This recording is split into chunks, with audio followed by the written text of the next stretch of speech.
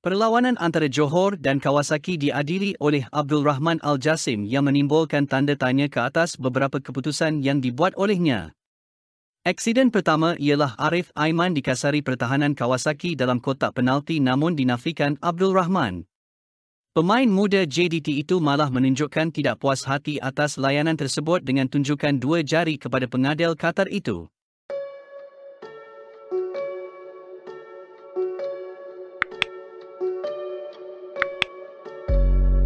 Walaupun pengadil Qatar itu menggunakan video bantuan pengadil untuk kekasaran kedua, Abdul Rahman tetap menafikan keputusan itu dan tidak memberikan sebarang penalti kepada Harimau Selatan.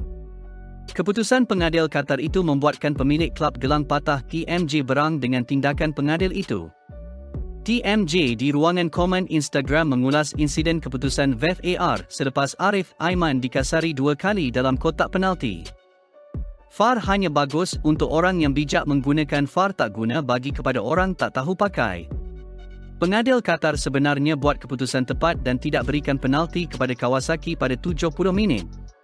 Kekalahan Johor Darul Takzim kepada Kawasaki Frontali dalam aksi peringkat kumpulan AFC Champions League sesuatu yang boleh dibanggakan oleh semua penyokong bola sepak tanah air. Ia selepas Harimau Selatan hanya tewas dengan keputusan 1-0 menerusi sepakan gunting pemain import Brazil. Gol Marcino mudah dihasilkan kerana gawang terbuka luas hasil kesilapan Shihan Hazmi yang keluar jauh daripada posisinya.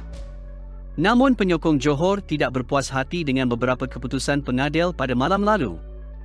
Perlawanan tersebut dicemari dengan beberapa insiden yang boleh dipertikai oleh penyokong terhadap keputusan pengadil dari Qatar. Keadaan terkini pemain tengah JDT Leandro Velasquez mencuri perhatian rata-rata penyokong pasukan Harimau Selatan. Pemain tengah Argentina itu hadir memberi sokongan kepada Johor dengan bertongkat.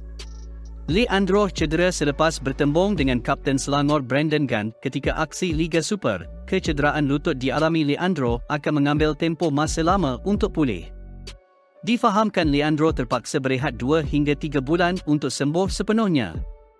Dalam perkembangan terbaru Kapten Harimau Malaya Safawi Rasid diturunkan pangkat ke skuad piala MFL semalam. Messi Dumun itu jaringkan gol melalui sepakan percuma dan bantu JDT 2 menewaskan Perak 2.